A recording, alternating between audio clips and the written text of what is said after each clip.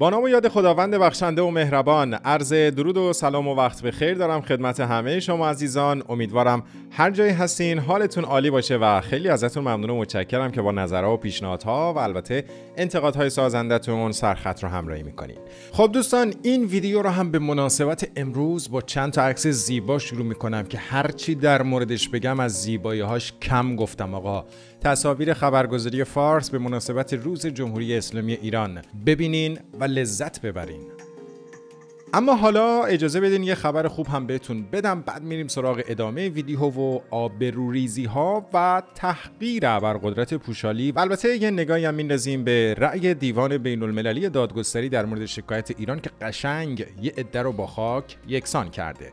خب عرض شود که دانشمندان ایرانی تونستن بدون دستکاری ژنتیکی بذرهای گندم رو اصلاح و تقویت کنن. اول بریم گزارشش رو ببینین بعد بیاین در موردش صحبت می‌کنیم. یکی از مشکلات کشاورزان کشت بذرهای گندمی است که هر سال بهرهوری آنها پایین میآید. اما فناوران بعد از 15 سال آزمون و خطا به فرایند کلیدی رسیدند که گندم پرمحصول را وارد مزارع می کنند. یه جمعیت اولیه از اون بذر جمع آوری میشه که هر کدوم از اینا یه ویژگی مناسب و مثبتی دارن. به یک گندم مناسبی ما توی منطقه برسیم از چند مثلا پنج نوع یا ده نوع والد مختلف استفاده میشه تا ما یه خروجی مطلوبی بگیریم در روش کشت سنتی گندم هر سنبله گندم حدود 50 دونه گندم به بار میاره. اما در روش بذر اصلاح شده همین 50 دونه تبدیل به 80 دونه گندم میشه. یکی از گندم هایی که توی دنیا به اسم ایران شناخته میشه گندم خراسان هست که با توجه به, دانه های بلندی که داره بزرگی که داره مشهور ایبی که داره اینه این قد بلندی داره و چون ساقه‌هاش ضعیف هستن ورس می‌کنه متأسفانه عملکرد پایینی داره. ما عملکردش توی ایران زیر یک تن هست ما تقریبا به 3 3 تن رسوندیم. بذرهایی که تراریخته نیستند اما تولید را افزایش می‌دهند. تغییر ژن یعنی میاد دستکاری ژنتیکی انجام میشه. منتها اینها نه اینا اصلاح سنتیه. بذرهای وارداتی که مناسب اقلیم و آب و هوایی ایران نبودند حالا این بذر جایگزینش شده لزوما اینطوری نیست که بگید ما اگر بذر وارد کنیم حتما می‌تونیم به رقم های مشابه این که توی مثلا توی اون کشور خارجی به همون درصد عملکرد رسیدن توی ایران هم به همون درصد ما مسیری نداریم راهی نداریم جز اینکه بتونیم بذرهای پرمحصول متناسب با بوم اقلیم کشور خودمون تولید کنیم. یکی دیگر از ویژگی هایش هزینه بر نبودن برای کشاورزان است. نهاده ای که اینها برای بذر می‌خوان استفاده کنن. بار جدیدی رو دوششون نمی‌ذاره و طبیعتا اون چیزی که آید اینها می‌شود افزایش بهرهوری هست که 30 تا 40 درصد در بعضی از مواقع می‌تونن محصول خودشون رو افزایش بدن. خب لازم به ذکر که این امر در ادامه توصیه های رهبری در مورد خودکفایی گندم و غلات صورت گرفته و همونطور که مشاهده کردین گام های عملی این پروژه برداشته شده و به درستی هم داره انجام میشه. ضمنا در جریان اوضاع غلات و به خصوص گندم دنیا هم هستین دیگه. اما بریم سراغ رأی دادگاه لاهه. اول به این توییت با دقت نگاه کنین و ببینین تبل رسوایی و دزدی های آمریکا چقدر صداش بلند شده که دیوان لاهه به پرداخت قرامت محکومش کرده. زبان دنیا بلد بودن و قدرت ایران اینجوریه دوستان. اما در مورد دیوان بین المللی لاهه یه نکته ای رو هم عرض کنم دوستان که اصلا این رأی دیوان بین المللی دادگستری در مورد شکایت ایران به چه معناست؟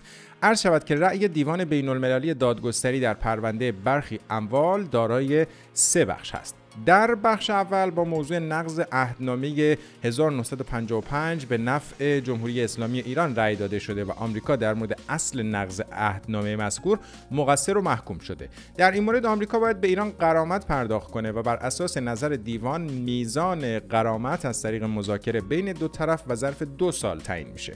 در بخش دوم هم که مربوط به اموال بانک مرکزی هست دیوان صلاحیت خودش رو برای رسیدگی به مسئله رد کرده. این عدم صلاحیت دوستان به نوعی بخش خونسای رای هست که طرف آمریکایی سعی می‌کنه اونو به نفع خودش تفسیر کنه.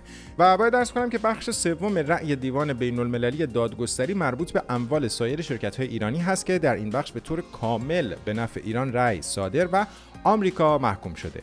آقای رضا نصری کارشناس ارشد حقوق بین الملل هم در این راستا می نویسه که رأی اخیر دادگاه لاهه در واقع ثابت کرد. دولت آمریکا نه فقط ناقض برجام بلکه یک معاهده دو جانبه حقوقی که به تصویب مجلس سنا نیز رسیده بود رو نقض کرده. همین موضوع می‌تونه در قضیه برجام هم به عنوان یک برگ جدید موقعیت مذاکراتی ایران رو تقویت کنه. این رأی به سراحت حقانیت ایران را در برابر ترفندهای حقوقی آمریکا برای ضبط دارایی های شرکت های ایران به رسمیت شناخته است. بله دوستان همون آمریکایی که قرار بود ایران رو به بهش تبدیل کنه فعلا حال و روزش اینه. برسد به دست غربگداهایی که خودشون و ما رو با آمریکا جون سوراخ کردن. حالا در همین راستا اینم ببینید که همه دنیا حتی خودشون هم متوجه شدن که دیگه یک جانب گرایی تموم تصویر جلد جدید مجله اکونومی است حالا من یه سوال از شما دارم دوستان. با توجه به اخباری که اخیرا در مورد چین و آمریکا منتشر شده به نظرتون برنده نهایی این جنگ که جرقه هاش هم داره یکی یکی زده میشه. کیه؟ اليوم تحتفظ ایران باکبر ترسانه من امروز ایران داره بزرگترین و متنوعترین زرادخانه موشکی خاورمیانه است. همچنین دارای بزرگترین و قویترین قدرت پهپادی است. طی سال 2020 ایران 105 موشک شلیک و تست کرد. اغلب این موشک ها کوتاه برد بودند. در حالی که دنبال کنندگان برنامه موشک ایران شمار دیگر موشک ها و پهپادهای در اختیار ایران را نمی‌دانند. درباره بیش از 3000 موشک بالستیک زمین به زمین آماده شلیک صرف نظر از مایع یا جامد بودن سوختانها صحبت می‌کنیم. آمریکا تحریم های زیادی علیه برنامه موشکی ایران اعمال کرد اما توسعه این برنامه طی ده سال اخیر متوقف نشده است. بلکه ایران با تکیه بر صنعت داخلی خود انواع مختلفی از موشک‌های بالستیک و پهپادها را تولید کند.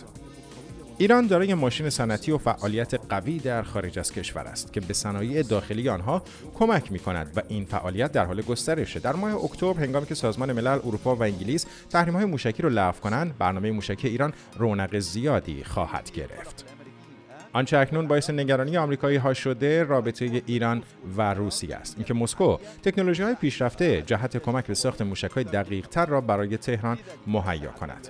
از این رو آمریکا ماهاست به دنبال ساماندهی مجدد پدافند هوایی خود و ارتش های منطقه به ویژه شورای همکاری خلیج فارس بوده است. آمریکایی ها همیشه تاکید می‌کنند که قدرت کافی برای تضمین امنیت نظامیان خود در خاور میانه را دارند. اما هیچ کس در واشنگتن یا فرماندهی مرکز آمریکا نمی‌تواند تضمین دهد که نیروی دفاعی مستقر در منطقه حمایت کاملی در برابر تهدیدات موشکی دارد. خصوصا اینکه تعداد موشک ها در زرادخانه ایران همونطور که ژنرال کوریلا اعلام کرد بالا و دارای تنوع است. این صحبت ها رو هم به مواردی که عرض کردم اضافه کنین دوستان. و این در حالیه که ساعاتی پیش ارتش آمریکا در شرق سوریه بعد از اعلام خبر شهید شدن یکی از مستشاران ایرانی در حملات اسرائیل وضعیت آماده باش اعلام کرده. اما در مورد کشمکش های ایران و آمریکا باید درس کنم که وزارت دادگستری آمریکا که دید دیگه برگی نداره رو کنه در تازه ترین ادعاش اعلام کرده که از ایران در پی ضبط بیش از یک میلیون گلوله مهمات متعلق به تهران به مقصد یمن شکایت می کند بابا فشار چیه؟ نمی‌بینین قدرت داره میرخصه اما در ادامه بریم سراغ ادعای خطرناک وزیر امور خارجه روسیه. سرگئی لاوروف وزیر امور خارجه روسیه در گفته های جدیدش اظهار کرده که استفاده از زور علیه کسانی که روسیه را تهدید می کنند عقیده جدید ما خواهد بود. این در حالیه که ظهر امروز رئیس ستاد ارتش آمریکا گفته که توانایی اوکراین برای بازپسگیری خاک خود از روسیه کار دشواری است و غیر ممکن است که در مدت قابل پیش بینی به آن دست یابد. مارک میلی گفته فکر نمی کنم اوکراین در سال جاری بتونه خاک خودش را از روسیه پس بگیره. این ژنرال آمریکایی عنوان می‌کنه ولادیمیر زلنسکی رئیس جمهور اوکراین گفته نیروهایش قصد دارند تمام مناطق در مرزهای 1991 رو اشغال کنند این یه مأموریت جدی نظامی و بسیار دشوار است و فکر نمی کنم در آینده قابل پیش بینی ممکن باشه. اینا مگه نمی‌گفتن اگه بخوایم امسال کلا جنگ رو به نفع اوکراین خاتمه میدیم؟ چی شد پس؟ اما دوستان اشاره می‌کنن که یه خبر فوری داریم در مورد روسیه خب مثل اینکه روسیه ریاست دوره‌ای شورای امنیت رو بر عهده گرفته. بله روسیه به مدت یک ماه رئیس دوره‌ای شورای امنیت شده و قرار سرگئی لاوروف وزیر امور خارجه این کشور ریاست چند جلسه این شورا رو بر عهده داشته باشه. لازم به ذکر که به رغم درخواست‌های مکرر مقام‌های اوکراین ریاست روسیه بر شورای امنیت سازمان ملل آغاز شده و آمریکایی‌ها آن و اعتراف کردند که چاره جز پذیرش این موضوع ندارن. خب اینم تکه های دیگه از پازل افول آمریکا. دوستان که داره مرتب کنار همدیگه قرار می‌گیره. اما در انتهای این ویدیو یه کلیپ ناب براتون پیدا کردم. ببینین و کیف کنین. فقط قبلش بگم که شما حتما نظرتون رو راجع به این کلیپ برامون بنویسین. کی کمک بگیرم؟ آقا تو خیام داداشی یه لحظه تماس کنم آها همکارم یه کار اورژانسی واسه شون پیش اومد این پرچم می‌خوام بکشم بالا. آره من همکارم نیستش. منم دستم اینجوری شده. فدای شما. پس یه دست میدین. بی زحمت. ببخشید. خدافظ کمک می‌کنی داداشی؟ مطمئن؟ قربونت ببخشید. حساب می‌کنم باد آقا خیلی ردیفه. دمت گرم. دستکش بهتون بدم. این تناور رو بکشیم بالا. اگه اوکیه این باید بره اون بالا باد بخوره. پرچم ایران رو داریم میدیم بالا. پرچم ایران. همکارم یه کار اورژانسی باش پیش اومد. ماشاءالله. ماشاءالله ماشاءالله. شهرمنده بذار دستیش بدم بذار دستیش بدم. اصلا اون اذیت میشی فقط ببین تنابو ول کنیم رفته. یعنی میاد پایین ها ببین شما از اینجا بگی من گرش رو باز می‌کنم الان. یه دست دیگه هم بگیری. آجا آقا یه دست میدی بیزم آره یه دست ببخشید امو یه دست میدی؟ می‌کشی؟ بابا دمتون گم حلاله. از کار زندگی افتادی. دمت گم شما این اینجا می‌گیری؟ من گرش رو باز می‌کنم. بعد بکش بالا. فقط خود عقب نری ها. یه دست یه دست. یک دو. یک دو. هی ریتمی بکشینش. اینجوری اینجوری اینجوری. یه دست یه دست یه دست یه دست. آخ آخ. دمتون گرما اشین اش یعنی خیلی دمت گرما واقعا فراموش نمی‌کنم لطفتون رو بکش بکش. دو دستی دو دستی. ماشاءالله. ماشاءالله. فرشاد ارزششو داره. حالی کلا عالی. ماشاءالله بله. فشارهای آخر ها فشارهای آخر. تاش خوب زور نمی‌زنی ها بکش. ببر. ارق ملی. ببر. بادی من به همکارام گفتم. گفتم چهار پنج ساعت پایین باشه چی میشه؟ با پرچمه دیگه. آقا هزینه شو چقدر تقویم کنم؟ اینو جون من. من دیگه من میام پرچم ایران اون به خاطر اون بردی یا به خاطر من؟ به خاطر پرچم. بردی. در دوتا وایسا نرو. با من باش.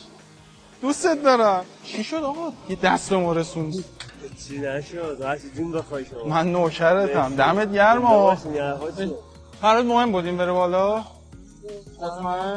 مهم بود یا به من کمک کردی؟ مو همیشه اون بالا باید همیشه باید بالا نگاه کرد. اشیدم اوزاد اینجوری داد پرچم ایران همیشه پایین باشه. چونه من؟ چه حسی بهش داری؟ پرچم ایران یه دونم حالا درسته مشکلات فلا اینا هستش دارش پرچم ایران دیگه ما با این زانو می‌زنیم به نه نه نه پاشو. بلاغ هستم. تقدس داره. قربونت برم. خونا ریخته شده. عرض ادب می‌کنی خب نرو وایستا کارت دارم.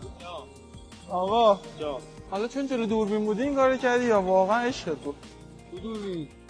جلو دوربین مخفی شبکه نسیم بودی. من مطمئنم تو به خاطر دوربین این کارو نکردی. یه دونم اونجا داریم شبکه نسیم. آقا دمت گرم خیلی غیرت داری. دمت گرم. تو پرچم ارق داری نه؟ همینجا وایسا منم دینامو ادا کنم. همون فرشو. دمت گرم این مال تو. نگرش شو. یه عکس پایین بگیری. ارزشمنده نه؟ میگم ما این پرچم و این زنده بودن و همه اینا رو مدیون شهدا. بکش بکش